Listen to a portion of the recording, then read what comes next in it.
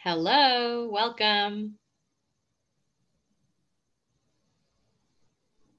Hi, everyone. If you are so inclined, use the chat to tell us where you are tuning in from as we let some people log in and then we'll get started.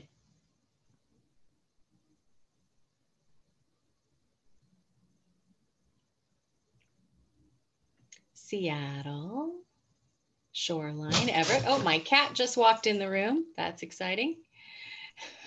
New Hampshire, Woodinville, Los Angeles. Excellent. Super excited. I'm super excited too. Bellingham and Ballard, Boston. Welcome.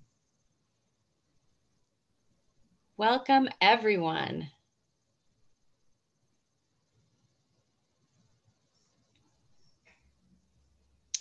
Bay Area, Lake Stevens, Victoria, BC. Oh, this is awesome, you guys. Thank you so much for tuning in.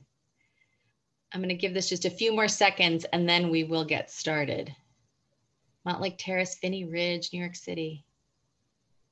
Welcome, welcome. Okay. Westchester County, hello, welcome. All right think that we are leveling off a little bit now, so I am going to go ahead and get started.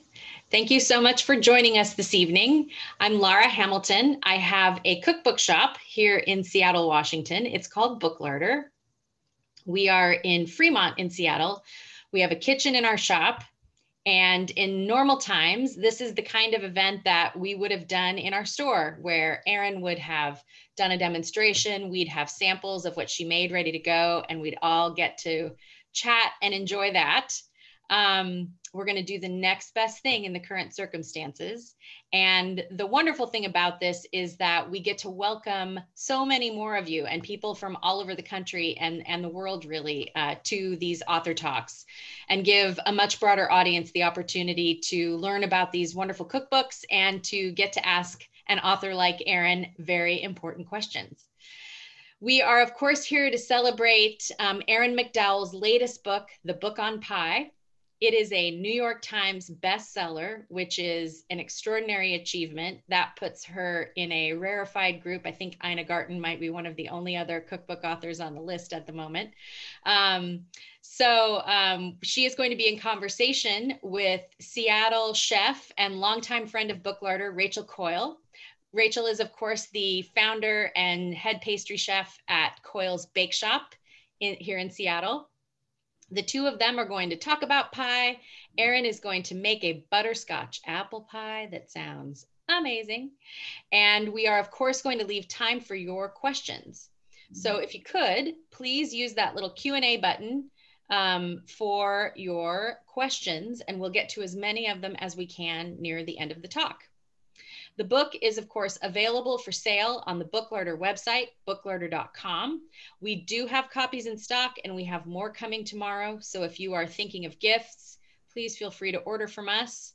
Um, it is December 6th or 7th, excuse me. So if you are, I would say east of the Mississippi, you might want to consider one of the shipping options besides media mail if you are going to order the book.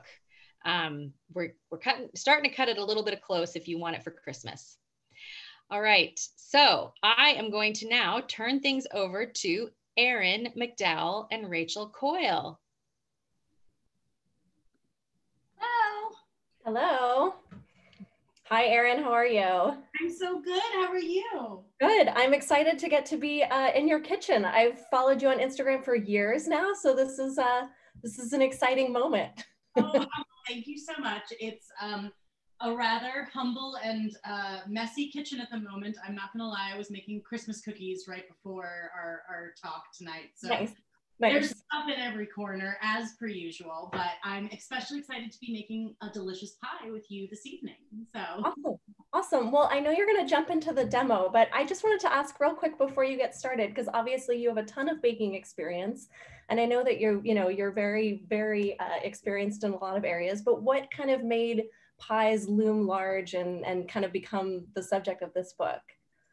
Well, pies are very special to me because they're one of the first things that I really learned how to make. Um, I always say that one of the first things I they're really one of the first things I learned how to bake, but they're really the first thing that I learned to bake without really needing a recipe, which of course in baking isn't a, so easy of a thing to do, but pies are just incredibly versatile and adaptable. If it's got filling and a crust, it's a pie, and you yep. can do so much within that spectrum. And um, my family loved eating pies. We would sometimes drive significantly out of our way on road trips and trips just to get the perfect slice. And I baked my first pies with my grandma Jean when I was about 14 years old. And it started as just something, you know, a way to pass the afternoon, more or less. We were going to um, an event and she wanted to bring that pie to the event. Mm-hmm.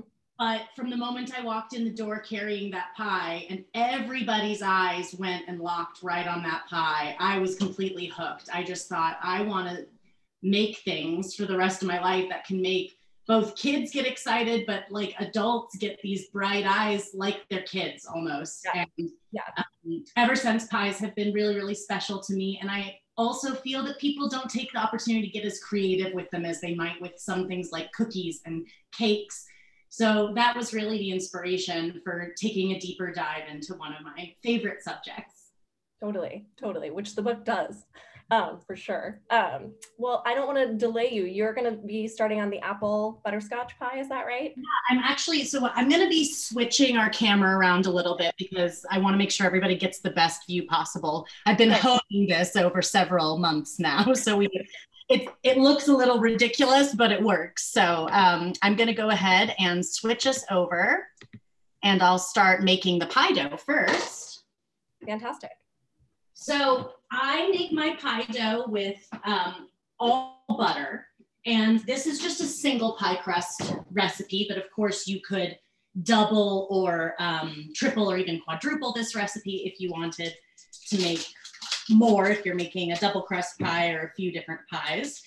And um, I'm a baker, so I like to deal in grams. And that's one thing for those people who are considering the book. The book has both volume measurements and weight measurements in grams because that's just so wonderfully accurate in the world of baking.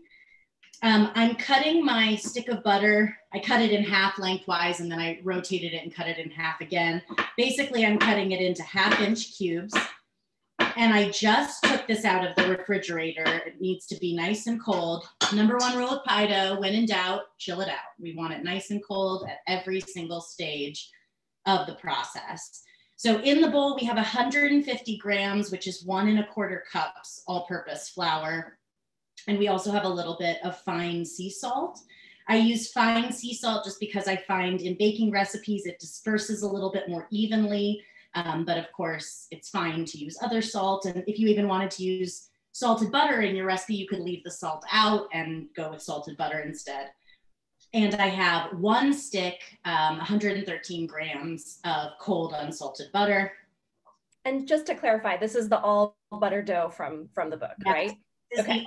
butter dough. And um, the first thing I do is just kind of toss all the cubes to make sure they're fully coated one of the most misunderstood things with all butter pastry is that um, the butter needs to be fully coated in flour at all times.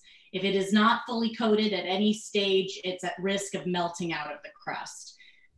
So we kind of just constantly want to be tossing it and making sure that it's coated. And then in pastry school, you know, they teach us that the technical term for this is cutting in or rubbing in. But my nieces have a great term for this that I like, which is squishing the butter.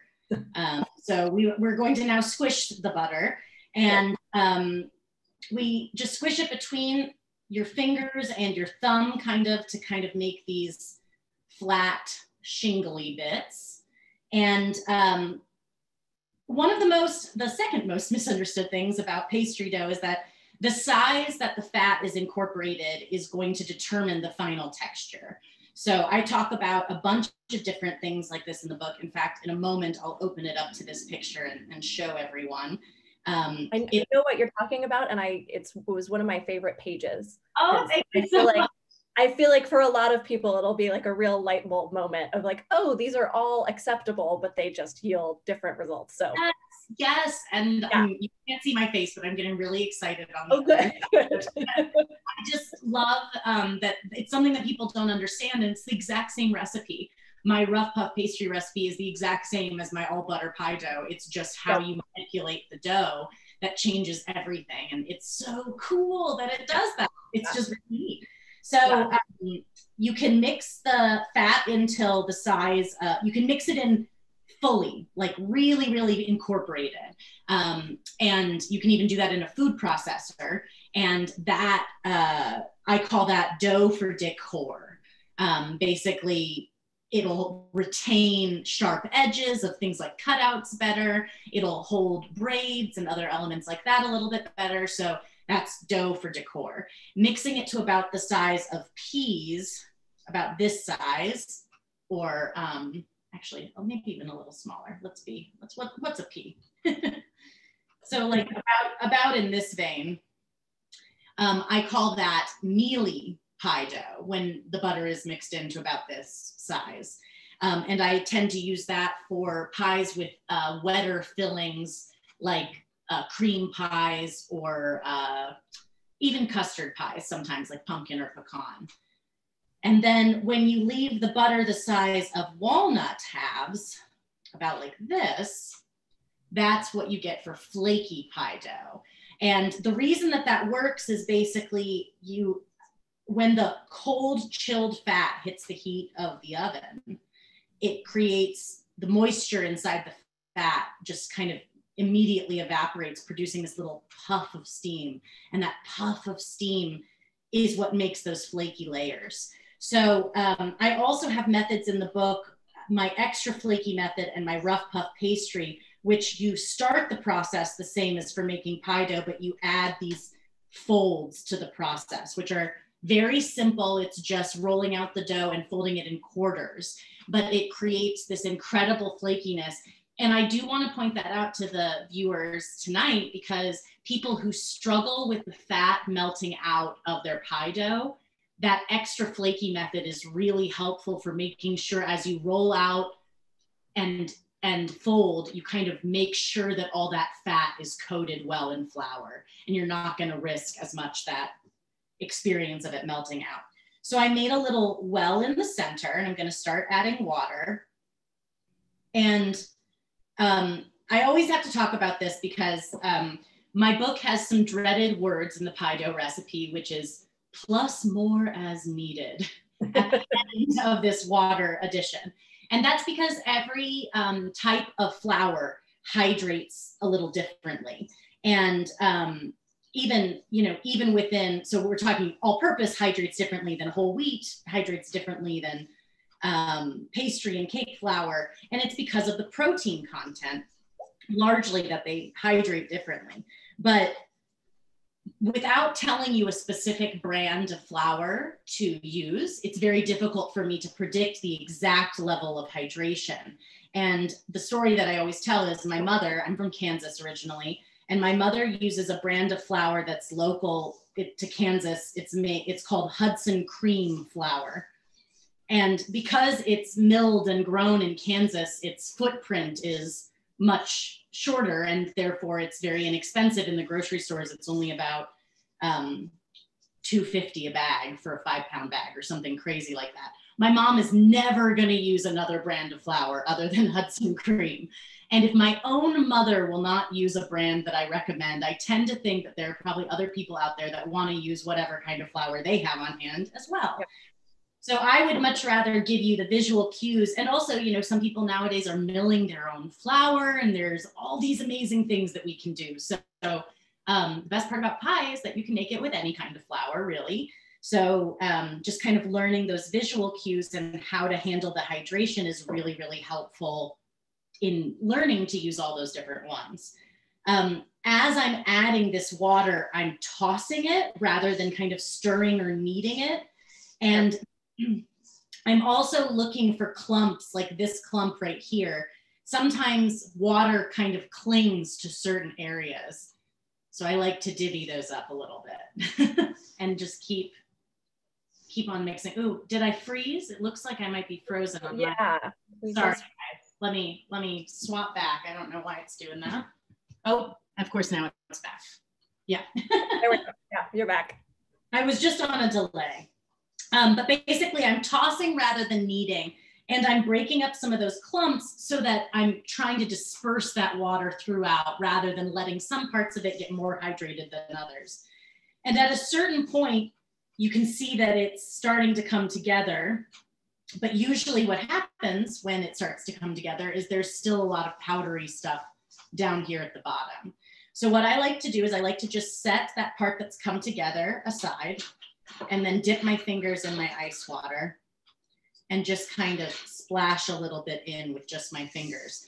That enables me to only add a little bit. And I'm also only adding it to the area that really needs it rather than continuing to just add water to a part that already has a good amount of water.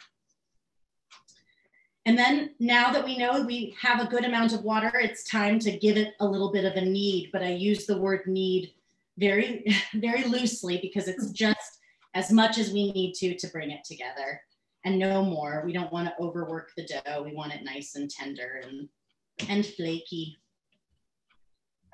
And the goal is it should just come together and just hold together. It will not be totally smooth or, or anything like that. And when you put your hand flat on it, you should be able to pull it up without like a bunch of, obviously my fingertips still have gunk on them, but the palm of my hand, it's coming up without anything sticking to it. And that's a sign that the dough is well hydrated. And, I love that. That's a really great, great trick because I think like remotely it's really hard to convey, you know. It's hard. Yeah. I'm just rinsing off my hands here and then I'll, I'll put it back on my face for a moment here. But um, it is hard to convey it. And actually, before I put it, let me give you another close up here kind of what that should look like yeah, good good amount of butter in there. Oh yeah, baby, all butter all the time. Yep. And if you wanted to do those folds I was talking about, you could just um, give it a little bit of a chill at this stage. Uh, you know, at least 30 minutes, and then you can just roll it out and perform those folds. They do obviously then add a smidge more time to the dough making process, but it's a really more foolproof method, especially for people who consistently struggle with that fat melting out in the oven, which is a problem no baker wants to have. All right, so this dough will need to be chilled. And of course I have some that's already ready to go and I'm just gonna bring it out and, um, and we'll roll it out. And uh, this particular crust requires par baking. So I like to talk a little bit about the difference between par and blind baking, at least as I see it, because there are sort of some differing definitions out there. Um, par baking stands for partially baking a crust before filling it with a filling that needs to be baked again. And blind baking is when you fully bake a crust before adding a filling that does not need to be baked again. So both of these processes are, are fairly similar, but um, just, you know, one takes longer than the other to get complete. And um, I pretty much par bake any single crust pie. So this pie included. It's very difficult for a pie crust to bake fully in the amount of time it takes for a filling to set, especially when it's weighed down by that filling and that filling is heavy and full of moisture. And um, so we're just giving the crust a head start to make sure that it is very flaky. And that's what we want and no soggy bottoms. yes. Well, and I think this is always a good time to bring up uh, par baking and blind baking right after Thanksgiving, after, you know, people have made their pumpkin pies and maybe some of them have had a soggy bottom and they want to know how to how to prevent that in the future. Absolutely. And then I also hear every year from a couple of people who tell me that they tried the par baking and they missed the soggy bottom. they liked it. Yeah, there's I, I am not team soggy bottom, but you know what? To each their pumpkin pie own. And uh, you know, as long as you're eating pie, not not too bad of a situation, I don't think. Um, I'll switch you back overhead while I roll this out and we can see see that view. And how cold is the dough? It is nice and chilled. It's been in the refrigerator. I actually made this dough this morning, so it's been in the refrigerator, you know, all day.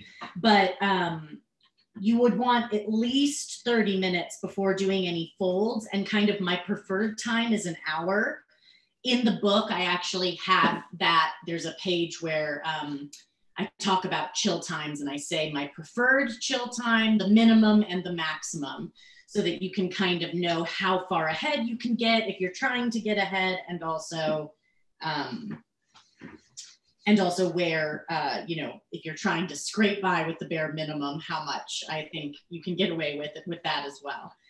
And um, i'm just going to roll out this dough. I'm trying to use as minimal flour as i need to to roll it out um, just because my hydration was on point so i should only need enough to kind of keep it from sticking to the surface. And another thing that i'm doing to help prevent it sticking from the surface is i'm just moving it around a lot. Um, just kind of shifting the dough and um, that helps prevent it from sticking just as well and we don't have to add more flour to do it. Are there uh, any questions thus far that I can answer? I know we're saving them for the end, but if there's anything while I'm doing this rolling out, I, I could take one if you'd like. There is one. Um, actually, there are two. Um, one person would like to know, uh, do you need to think about overworking the dough when you're folding? That's a good question. Um, typically it's not a, it's not an issue. Um, and uh, it's because at that stage, kind of what you're doing is building strength rather than then you're not mixing. Once the dough, let me, that's a better way to put it. Once the dough is hydrated, you're not as concerned about overworking it as you are during the actual mixing phase. Because once you've hydrated the dough, that's when it risks getting a smidge tough. Um, you know, gluten doesn't always have to be a dirty word. And in that sense, uh, those folds don't harm it. And instead, it disperses the butter more evenly, which can actually make the dough even more tender, which is really lovely. Any brand of butter that you like to use?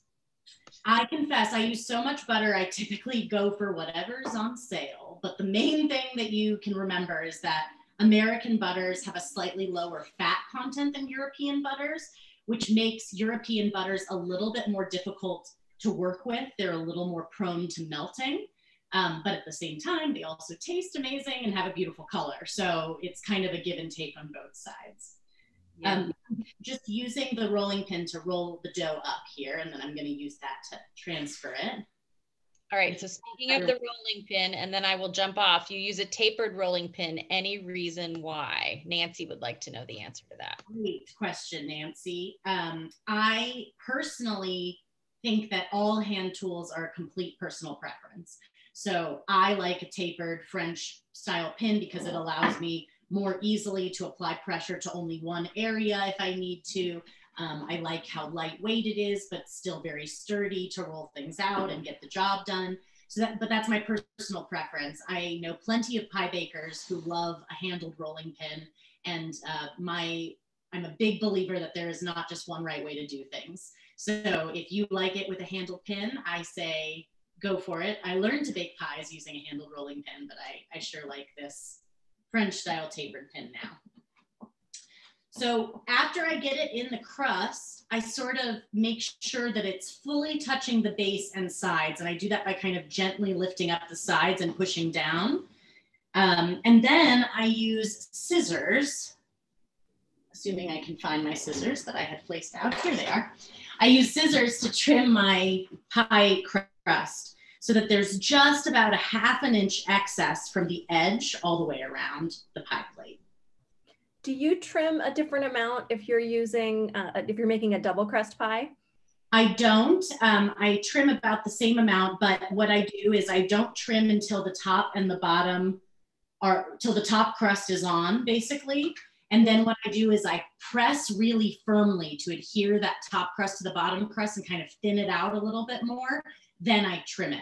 So that way there you have the excess, but it's only slightly thicker than than it would be with a single crust pie like this. Yeah. And um, now I'm going to tuck the excess dough under itself all the way around. So I pick up the dough and I tuck it under ooh, this looks so good on the overhead cam. I'm so glad you guys can see that because this is one of my favorite steps. Um, what we're doing is we're building this little pie crust retaining wall, more or less, that we're adding a little more heft to the um, to the the side of the crust, which is going to make it less likely to shrink down, but it's also going to allow our crimps to hold a little bit better because we're we have a little more dough to actually crimp. And um, that's really important. Sometimes I see people trying to crimp this very minuscule amount of dough at the edge, and then they're wondering why the crimp shape doesn't hold. And I think sometimes you just need a little more dough to make the shape, you know, stick exactly the way that you want it to. So we tuck it under all the way around. And I'm just kind of using my thumb to press after I tuck it. And you could actually just stop here and kind of straighten it out with your hands like this, running your, your fingers along to straighten it out a little. Or you could um, move on to uh, crimping it. And I'll just show you really quickly a classic finger crimp, my favorite to do. Um, if you're left-handed, you of course would be going the other way, but your dominant hand makes kind of a V shape and your non-dominant hand pushes towards your hand and also down towards the pie plate. So the wider this outside finger is, the more uh, rustic the crimp will be. So like if I left my hands out more like this, I would obviously make a much wider crimp. But if I leave my fingers more narrow, it makes a more refined crimp. And you just keep going all the way around the pie. If you were gonna add, so this is my only crimp that I do, the one that you're doing. If I were gonna add one more to my repertoire, what would you? Oh, one of my other favorites that's so easy is the rope crimp, where you push the dough between your two fingers like this. Some people uh-huh. do this one-handed with their thumb. For some reason, I cannot make that work. So um, just another reminder, there's not just one right way to do things. There's lots. So you kind of put your finger down where the last crimped ends and put your other finger parallel to it and pinch the dough between it.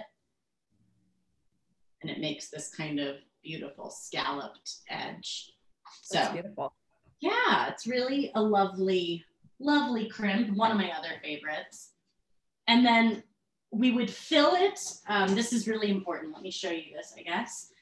I would dock this dough all over with a fork, pierce the, um, pierce the dough all over with a fork to make tiny little holes. That helps prevent the dough from puffing up too much in the oven. Then um, after chilling it for a little bit of time, I would line it with parchment paper and fill it to this top edge with pie weights.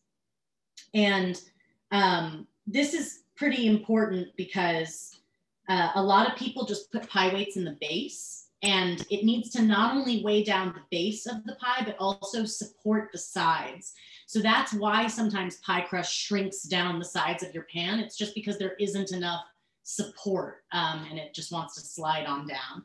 So you uh, line it with the parchment and you would par bake it.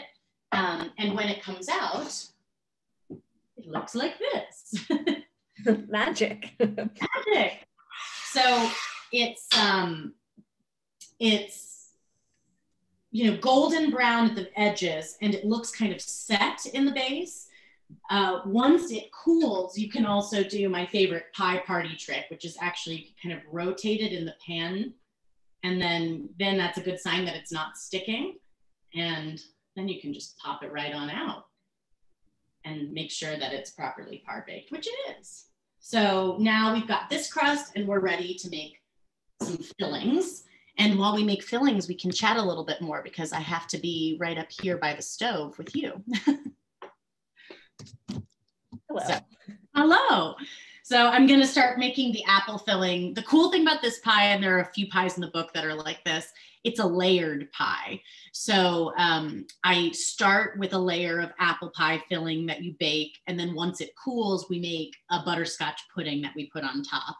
And I, am I've got it all ready to make both, but I figure we can just chat and we'll see how far I get here in the process of making these. And I'll give you a couple glimpses in the process as well. Um, I like to pre cook my pie, my fruit pie fillings. I mean, it's not an exclusive rule, but I really like to. And it's partially because it really helps to regulate the moisture content um, to mm-hmm. help make sure that we don't get a runny filling.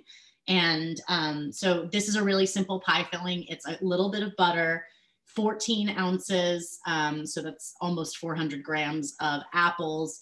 I like um, uh, Honey Crisp apples a lot.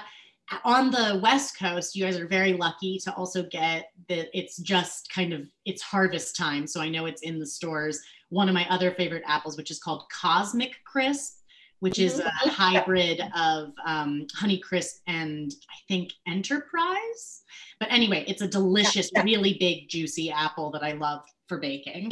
Um, and then it has brown sugar, um, some spices, cinnamon and nutmeg, and uh, vanilla, salt, and then it's thickened with a little bit of flour. And you, it only takes about five minutes to cook it to the desired consistency, maybe a little more, seven-ish and then I make sure I cool it before I put it into the par baked crust. But otherwise, it's a pretty simple process and it makes the most delicious caramel apple filling. It's like everything is coated in this like caramel sauce and it's so, so good.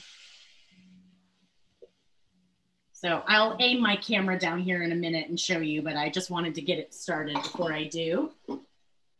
So for this pie, are you, you're cooking it on the stove and then adding putting it once it's cooled, putting it in the par baked crust, and then baking that whole those two yeah. items together. Okay. So that, that, pie will be baked for about um, it'll be baked at 400 degrees.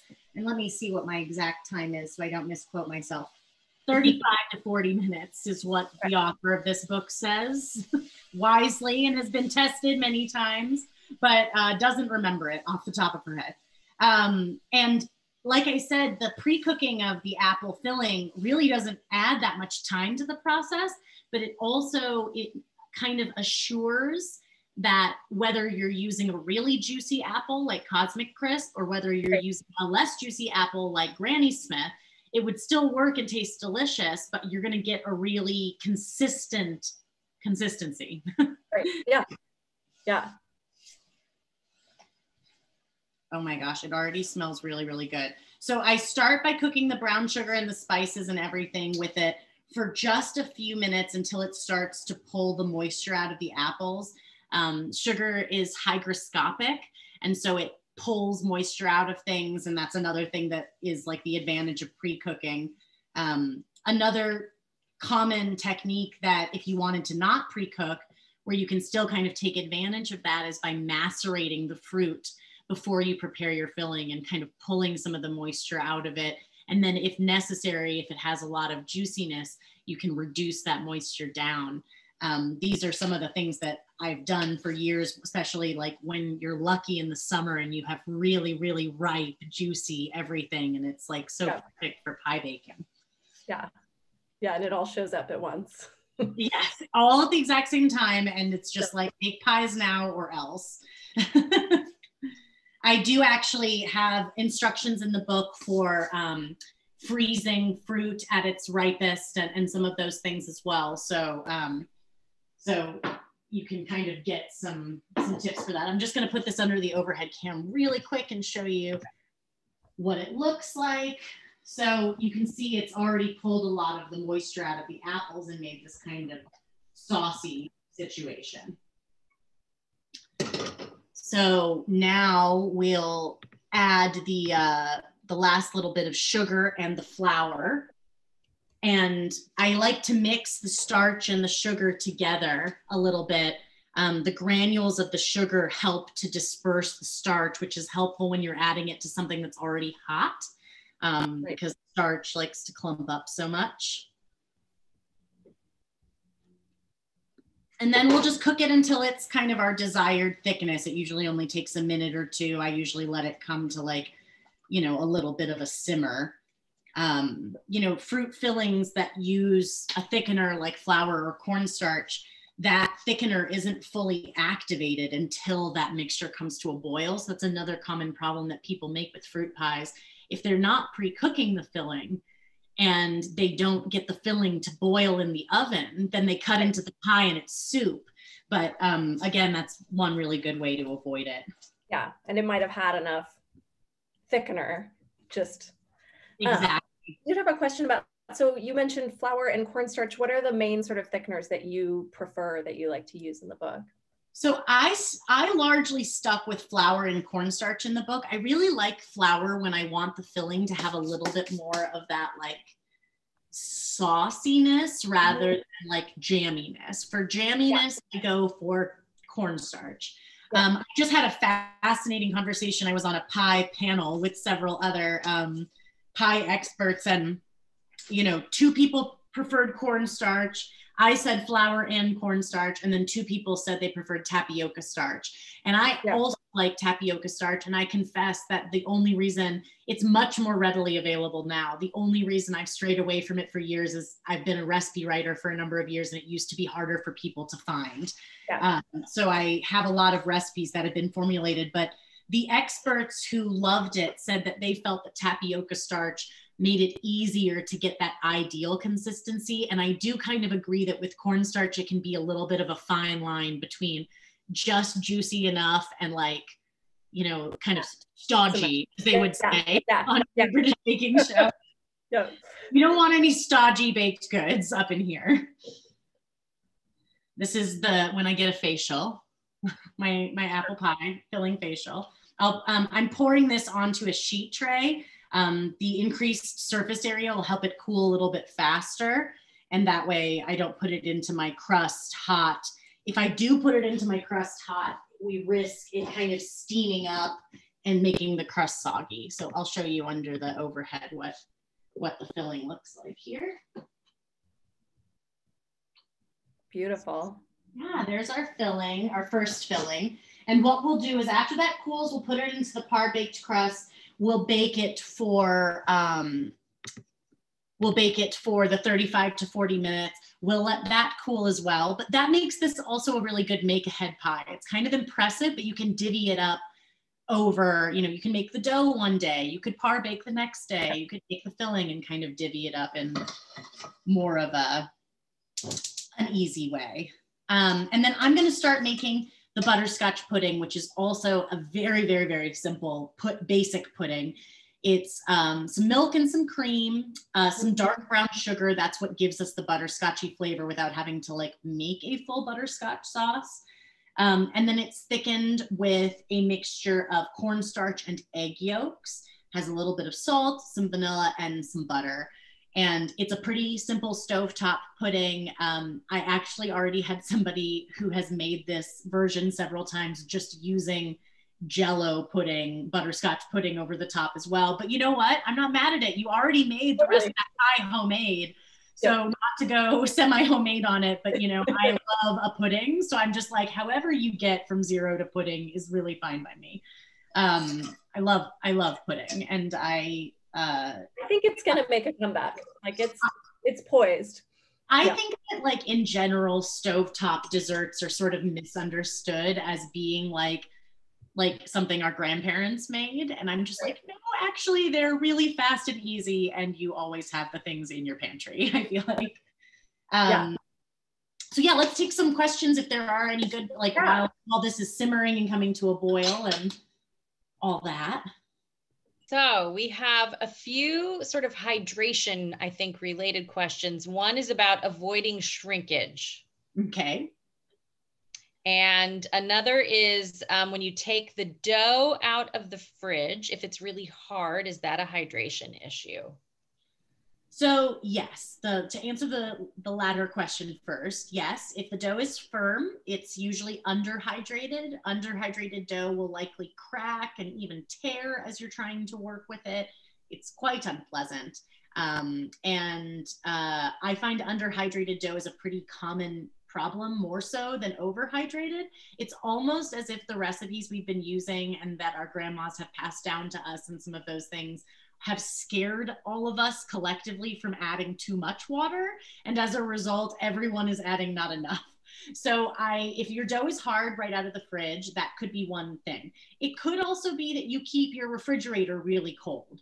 Um, and that's something if you have control over that and you can like set a temperature in there to see what's going on, um, that can be helpful. Similarly, American butters, because they have a little lower fat content than European butters, they are going to set up firmer in the fridge than a dough made with European butter. So there are a couple different things going on, but no matter what, if it's properly hydrated, it should roll out really easily. Um, for the first question about the shrinking, 80% of the time, the shrinking issue is a result of not using enough pie weights the other 20 if you're if you're in a situation where you're using them of course but the rest of the time it is a result of overworking the dough. Um, make sure you give the dough more time to relax and chill and it shouldn't be an issue anymore. A couple questions about uh, pie dishes. Do you have a favorite material?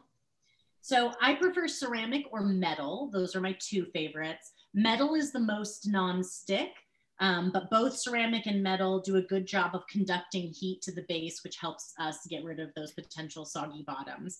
Uh, so that, those are my preference. Glass is my least favorite, um, but I still recommend it for beginners because um, they can kind of lift up the pie and actually just check the doneness.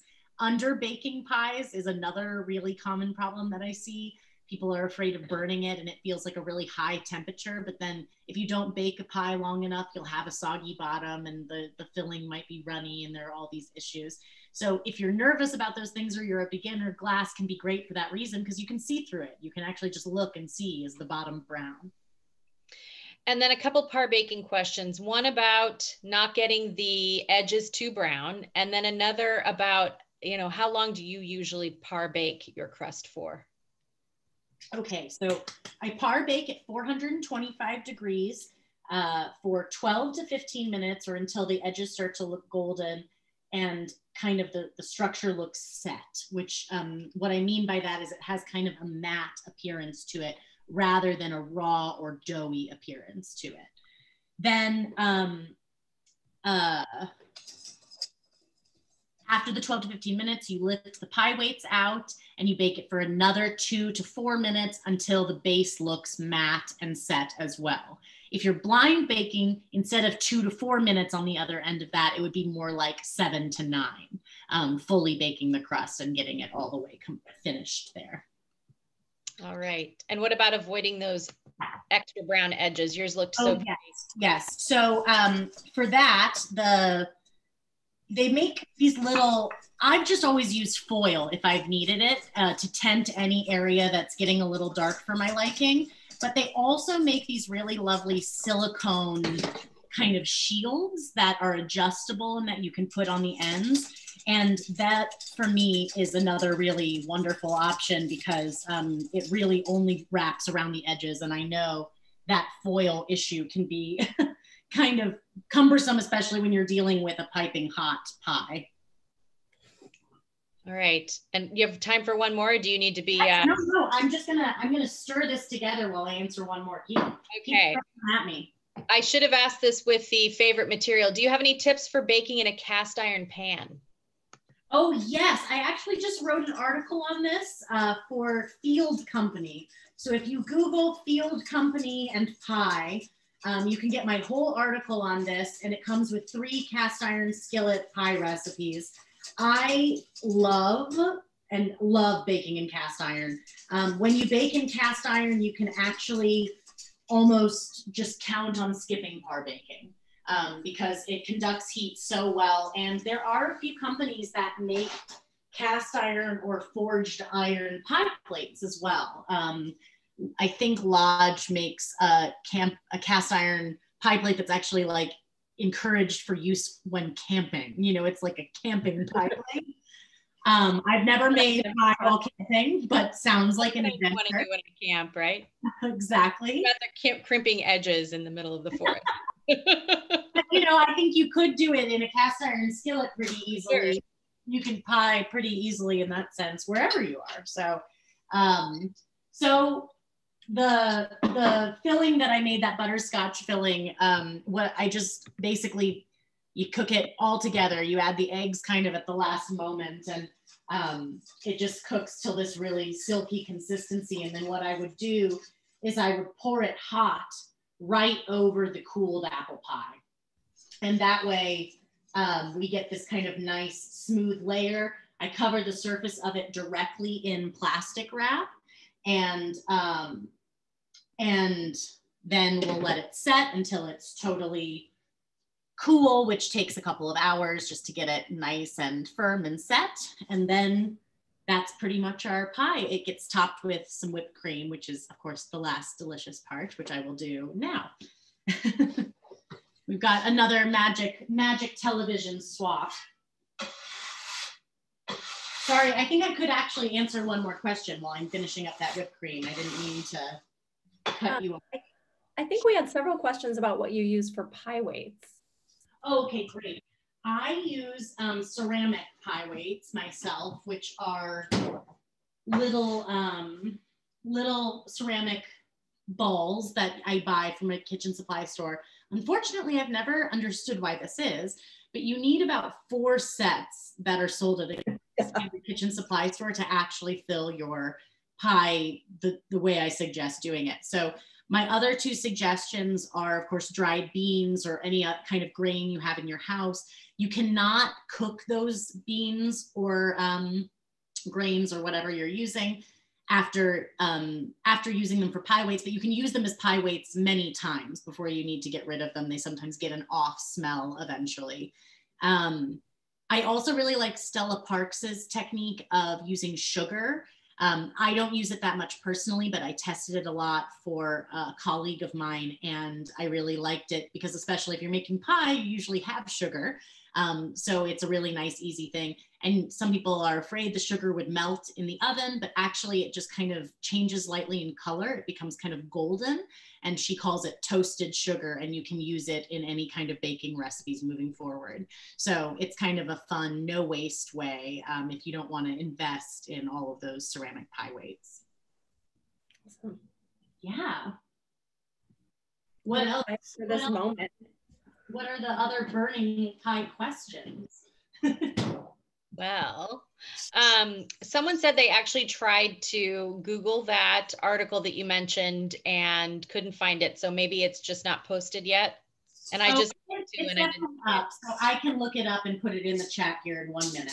Yeah, no, no worries. I, I well, I can look it up again too. You you're baking. You shouldn't be looking things like that up. It was the Field Company. Yes, Field okay. Company. All right, I'll look it up again. Um, Let's see. Oh, someone actually, I forgot to ask again with the hydration question. Is there a way to save under or over hydrated dough? Yes. Um, overhydrated dough, unfortunately, will often be very tough after um, after baking. And that's just unfortunately kind of the, the byproduct of overhydrating it. But what you can do to combat that, I have it written in the book, it's in the dough chapter um, you can uh, use a little more flour to, during the rolling, kind of do the opposite of what I just suggested before, which was only using as much as you needed, and instead really go to town and use a good amount of flour. Um, and that dough is going to absorb that flour as you work. It won't fully take away the problem of it being overly hydrated, but it'll be enough for you to work with it. The dough might be extra crisp, but it should still be a delicious dough. So no reason to like throw it out. The process for um, fixing an underhydrated dough is a little more complicated. I basically suggest rolling it out as best you can and spraying it or spritzing it lightly with water and performing one of those folds. That way, in the process of folding, you incorporate that water a little bit and um, it just allows you to, uh, to hopefully get some more moisture back in the process and, and hydrate the dough a little bit more. And in the process, you also make some more flakiness. So there's nothing wrong with that. um, I'm just going to switch the overhead camera, but I'll keep taking questions. I'm just putting whipped cream on and I want you guys, I don't want you to miss it. Did you put anything in your whipped cream before you whipped it? The book has several whipped cream recipes. So I have one that's like specifically meant for being super stable if you're trying to make it ahead of time. Um, that has whip, that has cream cheese in it, which I know sounds crazy, but it makes it really thick and creamy and delicious and naturally stabilizes it, which is very cool. This one is just the classic whipped cream. In the book, there are also different flavored whipped creams, and all the whipped creams come in three different quantities basically. So the half batch quantity is if you just wanted to pipe or spread some whipped cream around the edge. The full batch, which is what this is, it spreads evenly over the whole thing. Or there's the mile high, which of course is piled nice and high. We all love a mile high pie. Gorgeous. So I can actually, I can cut this and show you the inside and the layers and everything. Um, but we, I can keep taking questions too. As you do that, we had a question about cutting pies and like, what's your favorite knife to use so that you get a nice sort of sharp edge? Okay, so two things. My first favorite thing is that if you've baked the pie properly, like I said, it should pop right out of the pie plate. So that's my first favorite thing is that makes it a lot easier to slice it if you're not trying to maneuver around the pan itself. Then the second thing I always say to do is to start by taking a small, I call it the sacrifice slice. And the sacrifice slice can be your snack for a pie well done, or it can go to that person who there always is one who says, I only want a little piece. so it can go to either you or that person, you decide, but you just take a really skinny little piece. At least for me, that's a skinny piece. and it just becomes much easier to remove subsequent pieces from the pie with that first piece out of there because you basically have literal wiggle room to get in there and get your, your slice out. So now when I go to slice it, woo, The, the beautiful Instagram cross section. yeah. I'll bring it, I'll bring it up to, this is what I have a, something going for anyone who's interested in joining. I'm calling it the Sturdy Pie Challenge. And with the Sturdy Pie Challenge, you should be able to lift your pie out of the pie plate, as I just showed you there, and also hold and eat a slice of pie like a pizza if you are so inclined. So the Sturdy Pie Challenge is passed here today. Love it. And I have whipped cream on my finger, but that is is just another job hazard, unfortunately. I love that. It's the um it's the actual hand pie, right? Yes. Pressed all the way around just to eat it that way. Any pie is a hand pie if uh, if it's a sturdy pie. Erin, a couple people wanted to know about gluten-free crusts. One says hers are always tough, and another just wanted to know if you had sort of general advice about working with gluten-free crusts. Yeah, so gluten-free crust, one of the problems is it's very easy to overhydrate it. So your crust might have just been tough because it was overhydrated.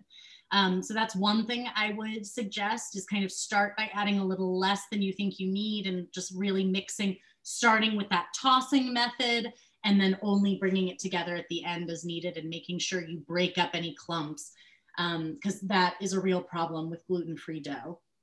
In general, I find that even my best gluten-free doughs are a little more crisp. They're still tender, um, they're not quite as flaky. So um, they still are flaky. They're just, I never, even when I do it perfectly, I can never get it quite there. Um, so I think that the general advice that goes for a classic pie dough of using only as much flour as you need while rolling it out, handling it very minimally, all of those things kind of just go into overdrive when you're working with a gluten-free dough. You just want to be extra careful kind of at every stage to only use what you need to use, both in ingredients and effort to kind of get it to the end result. Nice. All right. And I'm going to ask one more question. I'm sorry, everyone. We had lots of questions. Erin's book is a wonderful resource, though. So you can always turn there and, of course, follow her on social or blog and all those places. Um, this one isn't so technical, but I, I thought it was good. And then I'll let Rachael finish things up. You mentioned different members of your family a few times during the talk tonight. Are there recipes inspired by them in the book, or are there favorite flavor combinations that they have from the book? Yes. So a lot of the recipes, if you read in the head note, will describe who they're inspired by. And some, I joked with one of my friends um, that if I've known you in the last like 20 years, you might have a pie in this book because there's a lot of people. People inspire my work a lot. I think of uh, the things that they would like, or certain things kind of remind me of them, even if they've never explicitly told me that they like it. Um, and there are lots of those in the book. Um, one good example is actually my, it's not a family member, it's my, um, my best friend Terry. Um, she has a pie in the book. She loves black raspberry and she has um, a black raspberry chiffon pie in the book that's sort of like dreamt up for her and with her in mind. Um, I believe my one of my other best friends in the whole world, Maggie, is lives in Seattle, and I think she's watching tonight. Um, she and I both love Book Larder, and um, and uh, I actually wrote in the book also about a very special afternoon that we had. We went to a crawfish boil at a friend's house in the yard, and I made a shrimp boil pie in the book that has all these elements of like a classic boil dinner, but on pie crust and i had like a really lovely time like thinking of those memories of that specific dinner party and everything to kind of dream that pie up. But the one that is probably the closest to my heart that's inspired by a family member is the very first full pie recipe in the book. It's in chapter three fruit pies. And so it's the first uh, pie recipe that you come across. And um, it is the pure rhubarb pie because my grandma Jean, the one who taught me to make pie, um, she always said, you know, strawberry rhubarb is good, but there just aren't enough pure rhubarb pies. So I wanted to make sure that the very first um, recipe in the book was was for grandma because she's the one that got me started baking pies, and so it's the pure rhubarb pie. And of course, for those of you who are saying, but what about the strawberry rhubarb? There is a strawberry rhubarb as well. Erin, while you've got the book, um, could I ask you to show um, that picture of the, the butter um, cutting in? I think it's page 27. Thank you. I'll put that, I might put it overhead really quick. I think yeah. easier. So, there we go. So here you can see the like the dough is actually even a different color. It's really worked in and become quite yellow. That's the dough for decor, mealy. And we have reference photos like this throughout the book. Um, also for the hydration, there's a side by side of a properly hydrated dough next to one that's too dry, next to one that's too wet. Um, I can find that one for you too, because you know sometimes it's difficult to know what you're doing wrong without seeing it right next to the right. So here we've got a great photograph that shows um, this is like just right. When it's too wet, it's even lighter in color. And when it's dry, it kind of has these crumbly bits. So um, yeah, there's there's lots of that that goodness. And the cool thing about that butter incorporation that we talked about is also the final texture, which I was trying to find really quick before I leave this overhead shot for you again, um, because you can actually see how it bakes up just completely differently, but that's the same recipe, all of those. So up top here, we have the dough for decor, and you can see it's really tight and fine. The mealy dough is a little bit denser, flaky dough in the middle there. Then those bottom two are when you incorporate these two down here, when you would start incorporating those folds or your extra flaky dough or your rough puff pastry. Very, very cool. Well, Erin, thank you so much. I'm very sad that we can't try the pie that you made. It's gorgeous, um, but oh, I'm sad too that I'm not eating it in front of you. I know it's very polite of you. I can't believe it. I would be eating it. So um, thank you so much. The book is is really wonderful, and I know that everyone will find a ton of information there. I was really blown away with sort of the detail of a lot of these things that I don't think many pie recipes talk about. Um, so so thank you so much, and thanks oh, for chatting. Thank you so much. Thank you so much for having me, and um, just I love seeing what everybody's baking up. You know, my goal with this was really to kind of answer a lot of those questions that people have about this subject because I think people think it's it's a lot harder than it actually is. And if you can get in the kitchen and bake some pies and get some muscle memory, the next thing you know, you're going to be the pie baker in your friend group. And that's good because I need someone around here. If you're in New Jersey or New York City, I need someone to take some of the load off of me. My neighbors are uh, are wearing me out over here. So. And Rachael, thank you so much. Thank you everyone for tuning in. The book on pie is available at booklarder.com. Erin, there was so much love in the chat for that sturdy pie. I think everyone, you know, I think you you got some people to start posting those pictures. I think um, so. Expect uh, lots of sturdy pie in the next few weeks. I thank love you it. everyone for tuning in, and um, Erin again, congratulations, and thank you, Rachael. Have a lovely evening, everyone. Bye. Nice to meet you. Thank you so much. Bye.